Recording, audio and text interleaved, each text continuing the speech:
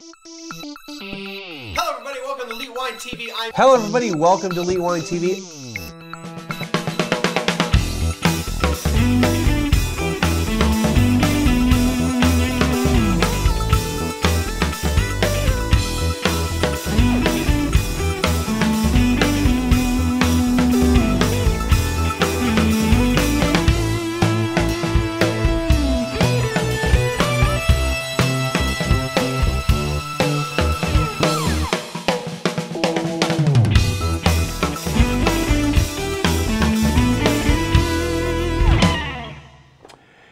Everybody. Welcome to Elite Wine TV. I'm your host, Mark Fusco, here for another edition of the show. All right, so it's been a couple weeks, haven't had a show out. Um, scheduling went to uh, the went to the uh, Hill Country for a wine writers workshop. Went to Houston for a Napa Valley masterclass. Give you a quick rundown on those things. So the wine writers workshop, you know, it was a cool little trip. We visited uh, five wineries and a distillery called Garrison Brothers, um, Texas bourbon. Um, really good, um, not cheap. I think it was around 80 bucks for their blended and like a hundred or something for their single barrel. Both were excellent. Um, if you didn't know that you can make good bourbon outside of Kentucky, um, or that bourbon could be made out of outside of Kentucky, it can, and um, it's pretty decent. So, uh, and I'm not a bourbon aficionado, so you know, all I can tell you is it tasted really good. Of course, we taste at the end of a great tour, so you're already in a good good mood and you're already built up with how great this bourbon's going to be anyway. But it was good. So I mean, all all kidding aside and all like hype aside, it's good. I actually asked uh, uh, the gentleman at the end if I could come back sometime and do uh, put him on the show. So we'll see if that happens, you know, between my schedule and his schedule, um, if we're able to do that. My plan was to sometime in May do that, but um, my plans in May, which this month, uh, might be changing. So I might be taking a trip out of the state and uh, like 99% sure going to Jersey. So, yes, Carl, I will contact you um, if I come up. Anyway, um, so uh, there's there's a very, very small chance that it won't go to Jersey, but for the most part, we're probably going up there. Anyway, um, so the actual workshop, well, I mean, we had two panels. A panel on Texas wine that was interesting. There's, you know, I, I don't know everything about Texas wine. I don't specialize in it. I do try to follow the industry as much as I can. Um, you know, I do get quite a bit of uh, newsletter stuff, and you know, I try to read the couple blogs that that specialize in Texas wines um, when, when I'm able to. But uh, so there's some interesting stuff, and of the four panel people, I knew one really well, and then one I've a couple of them I've met occasionally um, or have have seen each other, and then the, the fourth one I don't think I'd ever met or even knew about. And actually, he hung out with us on some of the wine things, and he was cool to get get uh, to get to know. So um, the other panel was about content, and um, I, I didn't really get much out of it other than the four people worked for a convention bureau um, and what they do for their areas and that they're available for content um, if you're writing about wine. So um, I mean, it wasn't a wasn't bad. It just for what I do, it's not wasn't more geared towards what I do here on, on the show. So um, we also took a tour of Boot Ranch. Boot Ranch is way out of my price range. Um, but if you've got a lot of money and you want a family oriented country club place that you can live um, in, in, you know, close enough to a large town but out in the middle of nowhere, um, it's great. I, I um, the, the two dinners we had were amazing dinners. Granted, there they were specific dinners that were uh, were wine dinners, so this is not necessarily their normal um, their normal dinner fare. But I mean, really creative with what they did. Uh, the chef was uh, pretty cool. Came out and talked to us. The wines were from Becker and from uh, Messina Hof. Kudos to both wineries, to the wines that they, they paired up with us. Um, it was great to see uh, uh, Dr. and Bunny Becker. Also, it was great to see uh, Paul and Karen uh, Bonarrigo from Messina Hof. So, um, sorry I didn't make it out there on my way back from Houston, but I had to get back in town quickly. um, for some work stuff. Anyway, um, so that was a good trip. I stayed in this cool bed and breakfast called Valentine Hill. It's literally like a mile and a half from Boot Ranch in the middle of nowhere. I was the only person of the three cabins, you know, only cabin being used. It's the middle of the week. I'm sure it's pretty empty most of the time. Um, reasonable rates. Um, it is basically a one-room log cabin, you know, with with a bathroom. Um, Wi-Fi wasn't that good. Uh, there was no dresser to speak of um, and nowhere to hang clothes. But other than that, I mean, if I had to be nitpicky, that's being nitpicky. I mean, if you're being out, if you kind of want to be a little isolated, who really cares about the Wi-Fi? I just needed to check email.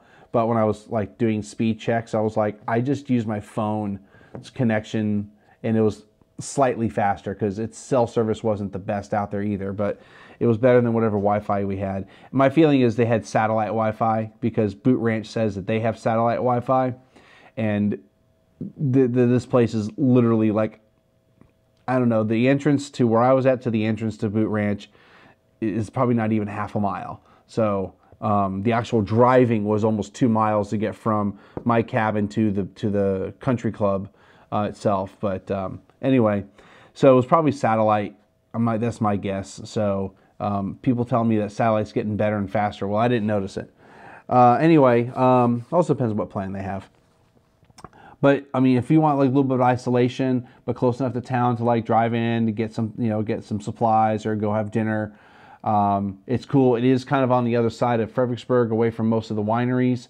Well, Fredericksburg is actually away from most of the wineries. It's still like a 15 minute drive to like the first group of them. But um, it's a nice isolated place. I would recommend it. I wouldn't even mind staying there again uh, for like just like a getaway. Um, the masterclass in Houston was at Pappas Brothers, and um, kudos to them again. Uh, I know quite a few of the people out over there, and it was great to see them. Uh, great to see some of the other people in the Houston area that came out to the masterclass uh, about Napa. Matt Stamp did an amazing presentation. Think this is the first time I've ever met him and ever seen him do a presentation. I've heard him on the podcast quite a few times. They have a GuildSomm, sorry, the Guild of Sommeliers. It was who presented this, or uh, yeah, who presented the class and they have a podcast, an audio podcast. If you're in the industry, you should listen to that podcast. They're not super frequent, but when they are, when they produce a show, it's good stuff. The other podcast, I can't say good enough good things about this podcast. I'll drink to that. Levi Dalton, he has an amazing podcast of interviews, interviews like everybody in the world in the in the wine world, and a couple times like outside of the wine world, but listening to him for the past what seven months now, um, and all the people that were associated with Napa during that time, because uh, it's not just Napa, but he does see a lot of Napa people. Um, hearing their history and then what Matt did, his history, and just everything just melded. Put you know, he, Matt basically connected all the dots. Um, so it was it was really cool. So if you're in the industry, for sure you should be listening to because it gives you the background of a lot of people if you didn't already know about them, especially when you talk about European winemakers um, that maybe we don't know, or at least I don't know. I mean, they're all new to me, but um, it's, it's, some great stuff. So, um, but anyway, Houston was great. Had a great wine dinner later on that night at Pappas um, through a, through a friend of you know friend of a friend. Um, we had. Uh, and if you, if you follow my tweets and Facebook posts and Instagram, you probably saw the pictures of the uh, 1962 Vega Sicilia Unico. Um, it's basically drinking like a port. It's a Tempranillo. It was pretty amazing and something that I would never have access to um, or personally be able to afford. And then we had a couple other uh, really good wines. Had a really good uh, Burgundy and uh, Champagne, which I don't remember the name of that.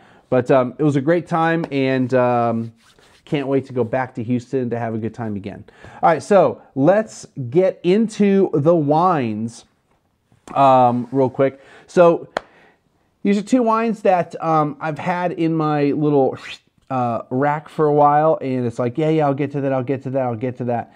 So then when I was doing the last set of shows, I was going to review these wines, and I was like, I really don't know where I got them from. Um, well, one of them specifically, one I know where I got it from. The other one I had no idea where I got it from, and I don't like. Well, I don't like putting wines in the show. I can't at least tell you how I got it because I'm supposed to be able to tell you how I got it, whether it was even a gift or for free. Eh, there's like this federal obligation that you reveal how you get your products. Like I bought the Coravin, it wasn't supplied to me, so um, I love this thing. Anyway, um, so the first wine we're to do, um, let's just get right into it. The first wine is Greedy. Greedy Cabernet Sauvignon, Alexander Valley, 2011. Now, this is the one I couldn't remember how I got.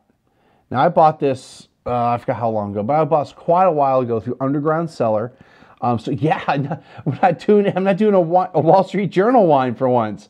Um, actually, I think I have one more Wall Street Journal wine, and then I have a wine a friend gave me, which I don't know. They're, they're sitting over here. I, I'm recording at least two episodes. I don't know if I'm recording the third, but we'll get to that later. All right, so Greedy Wines. Now, here's the funny part about this. Well, 32 bucks uh, with the Underground Cellar. This was the cheapest of the wines. Uh, it was a Cabernet. It was a Cabernet deal. Um, this was the the entry level price or the entry price. Um, so 32 bucks, and this is what it's available for. So this is the funny part. So it's actually G Reedy, not greedy. G dot Reedy, and actually I think I think there's a small yeah there's a small like small little dot. New specs by the way, progressives. I'm actually loving them. It took me like three four hours to kind of get over that disorientation, almost nausea feeling um, yesterday, but um, I'm loving them now, uh, and hopefully. I got the anti-glare like my friend Jack said to do, so I'm assuming the lights aren't reflecting off the glasses. I'll find out when I edit. Um, but anyway, so it's G dot ready. So the G is the first name of uh, Reedy, not Ready. Uh, the first name of one guy, and Reedy is the last name of the other guy. I'll tell you, it's Ross Reedy, and the G is Greg Urmini. You remember who Greg Urmini is? Yes, that is the guy that is the Crossbarn winemaker. So how did I know? I mean, I had no idea, Greg, if you're watching this uh, at all, that I actually have one of your wines and I bought it before I even met you. Talk about small world coincidences, all this kind of stuff. So, who are they? Uh, so, these two guys, uh, Greg and Ross, um, were studying abroad in Florence. If you remember, we uh, Greg told us he was in Florence for a while studying, and these two guys met up and they basically uh, decided they were uh, com- uh, not compatible. Sounds kind of weird, um, but that they had this love for wine, and they decided that they were going to create a wine, and they called it G Reedy or Greedy.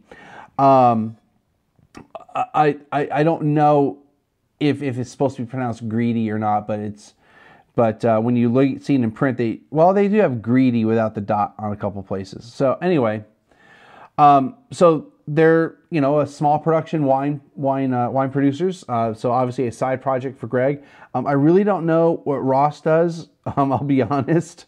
I don't know if he's also a winemaker somewhere else. I didn't look him up. But uh, let's get oh Alexander Valley. So let's get into the wine. So um, at my day job, or literally the night job, we just got this, and um, I'm really excited about it because it's some cool stuff. I already did the thing um, some cool stuff to do this.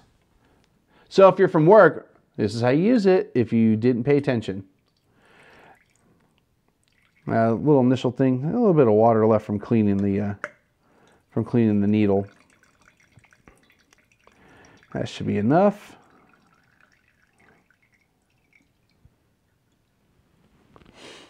All right, put this back here. Hmm. All right, so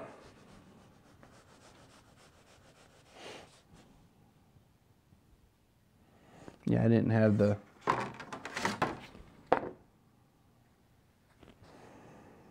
It always looks so dark in here now. So I've got those covers on the lights and they dim everything, but it gives you a much more even lighting. It, I, and when I look at my, my video, it doesn't look like it's too bad, doesn't look too dark and all that, but it feels dark and I feel like I want to get the next level up on lights, but that's another hundred dollars I'd have to spend on that. You could always hit the PayPal button, send me a hundred bucks, or collectively send me a hundred bucks. See how I got that PayPal reference in before the end of the show? All right, so um, you know, not a deep, deep dark red. Now, granted, I only have a little bit of wine in there, but it is kind of see-through, so I'm a little bit surprised on that with a cab, but doesn't mean it's bad, just maybe just didn't have as much extraction. but it's got you know some it's got some pretty cool color. It looks almost I want to say cloudy, but um, I mean I can see through my hand fine. but When we look at that, you see like a lot of diffusion at the very edge. So it's a very even diffusion as far as the water. So on the nose, a little bit, not I want to say brambly, but a little, little brambly, a little bit of wood you can smell. Um, red fruit, cream, vanilla.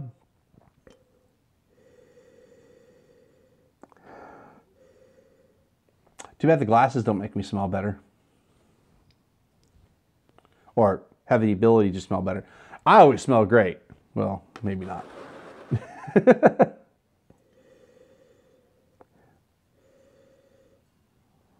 You know, I do miss I do miss wearing cologne because you can't wear cologne and evaluate wine anymore. So yeah, I mean, I would say red fruits, maybe some raspberry, kind of a creaminess, vanilla. The wood isn't so prominent anymore.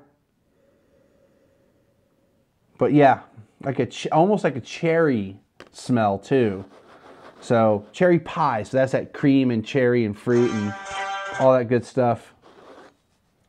Yeah, all the other, I kind of bled over a little bit too long on that.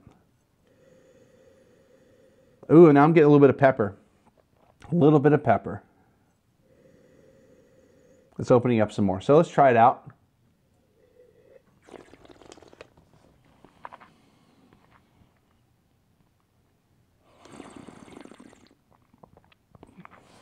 Hmm.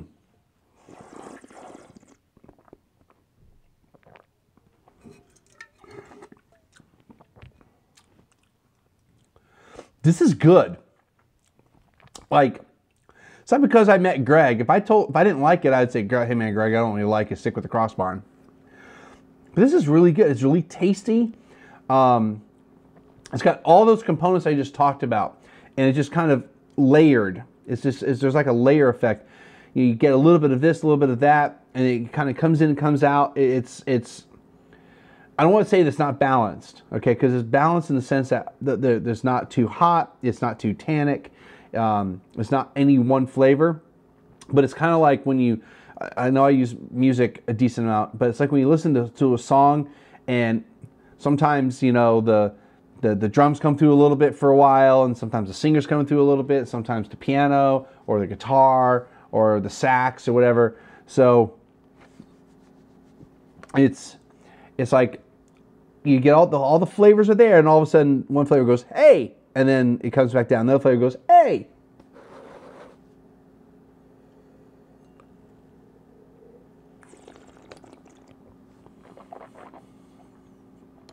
Hmm.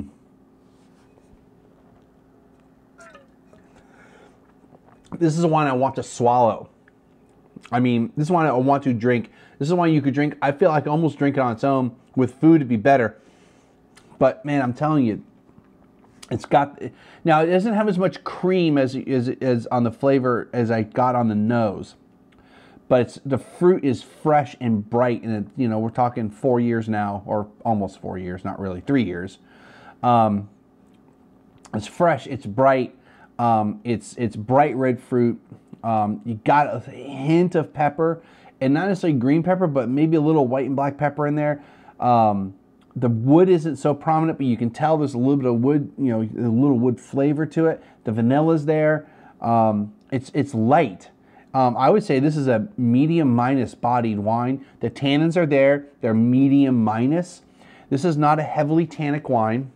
Um, you know, I know in Napa specifically, 2011 was a very challenging, challenging year. I don't really know so much on the Sonoma side. Um, because I don't deal with a lot of Sonoma wines versus Napa, or it's not talked about as much as far as 2011. Um, but you know, this is a lighter style Cabernet Sauvignon. Oh, there's some pepper right there. That little, that little bit. Um,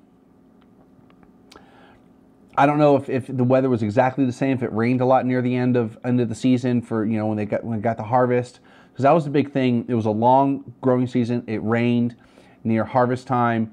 So it it hurt the grapes. But you know, if you're a good winemaker, like we heard all my through my trip at Napa, it didn't really matter.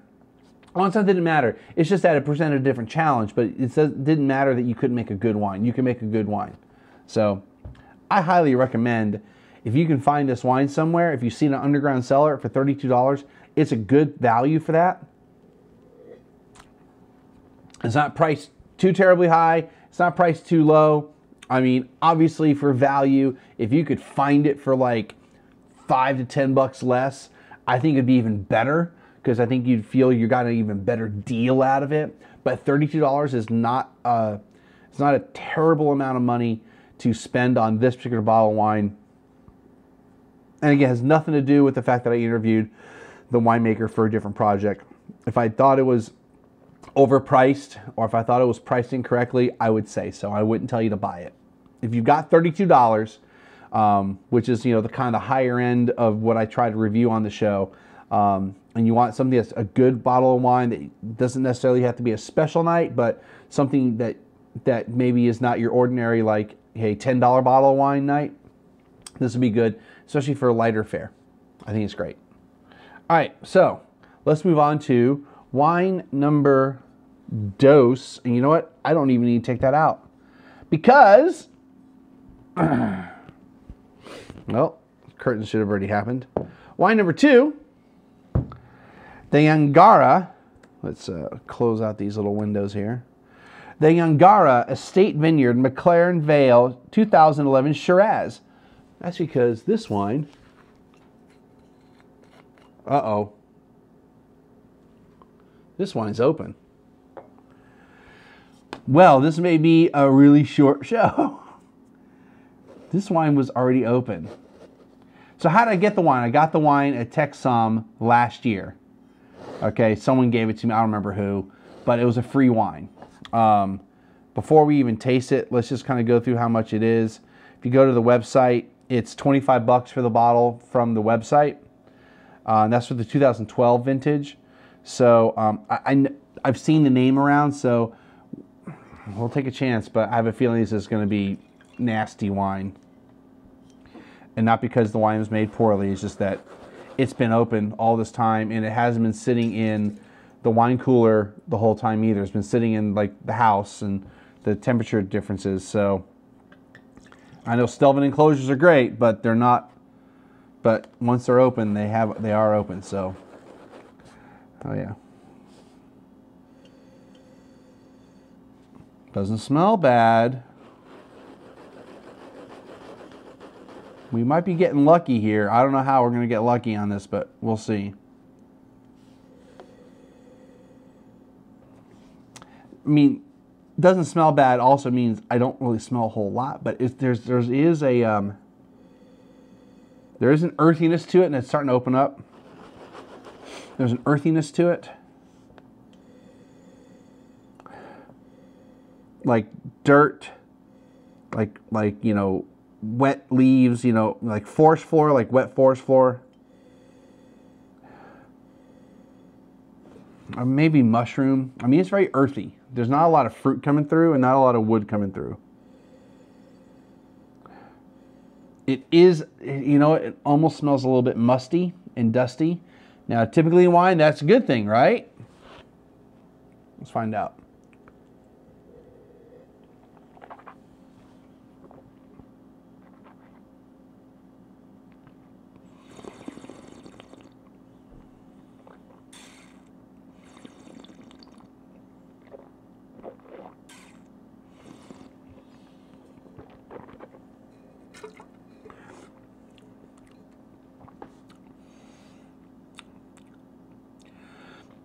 First, right off the bat, it's not vinegar.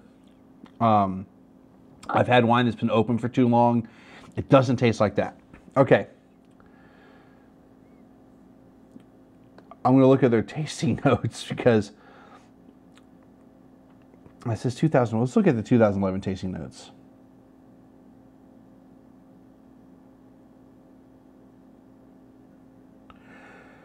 Does it just tells you about the vintage or something? So the 2011 tasting notes say The wine has a heady illusion of sweetness and confection. After that lovely slender of syrup establishes itself, oozes of prune, blackberry, entwine, dark chicory, juniper tannins, harness leather. Primary fruit and vegetation, like some of the. According to them, there's a fruit. It's like a fruit bomb. At least a 12 is.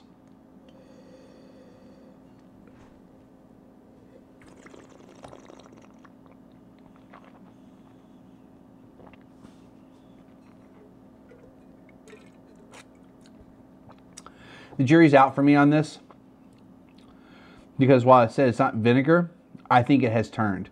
I think it's been, I think that, that the enclosure has has had a uh, done an admirable job of trying to preserve the wine even though it's been open, but it felt like it was still it felt like the cap was still kind of loose, um, but it was a full bottle, so I don't know. I mean, it doesn't taste bad.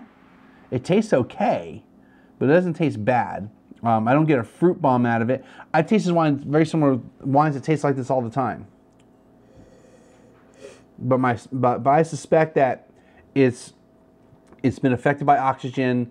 Maybe it's just like aged faster because it's been sitting there. Now, granted, it's sat in a cooler at 55 degrees for the past five months now, or four months. So that might have helped preserve it a little bit.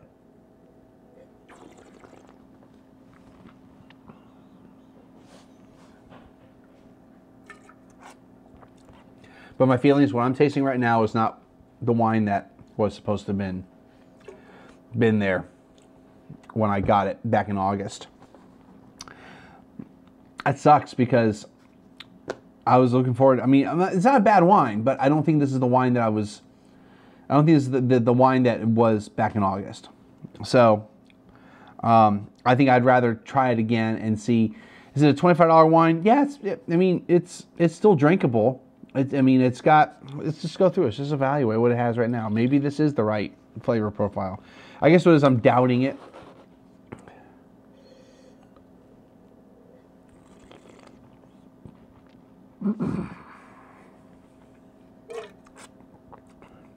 It's kind of sharp, um, angly. Um, it's got a bit of tartness, a bit of acidity to it. Um, just red fruits I don't get any of the other stuff they're talking about. Um, I guess they said prickliness. Um, I guess you know, that's the acid, I'm sure. Um, and maybe there's a bit of woodsiness to it, but as far as like, do I get any particular fruit? Hmm. They say prune. I just say generic red fruit. Um, it could be almost almost sour type of sour cherry. That's why I think it has turned a little bit.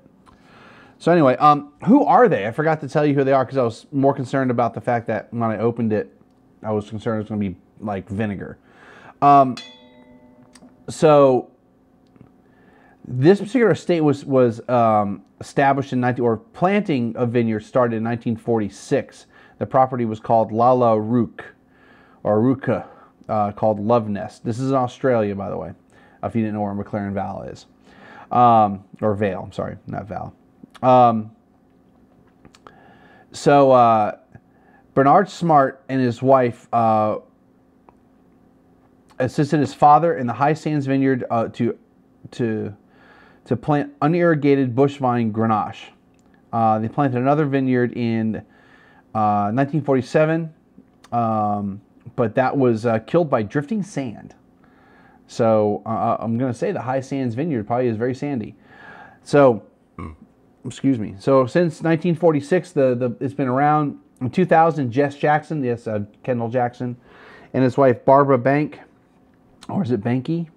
I think it's Banky. Um, they came down and they eventually bought the estate. Um, so Jess Jackson, if you didn't know, Jackson Family Wines is more than just Kendall Jackson. They they've got wine interests all over the world, and they have some pretty high end wines in in at least Napa Valley, and, and, I'm sure a few other places. Um, couple of the wines that they have that are very high end that you may not realize are Cardinal and Lokoya, which are fantastic wines and they're outside of my price range. But so uh, they they do they make a lot of wine, um, a lot of quality wine, and they also make a lot of ordinary wine, right? Value wine. Anyway, you know what? I'm going to say it's okay. Um, I can't give a recommendation or not because I don't, like I said, I don't think I'm tasting the the wine that was in that bottle. I don't think the wine is how it is now is how it should be um, with a perfectly sealed capsule. Right, that's gonna do it for this episode. Um, as always, click me, uh, click the links above to friend me up. Click the links below for more information. Hit the PayPal button over there. Send me a few ducats, and we will see everyone again next time.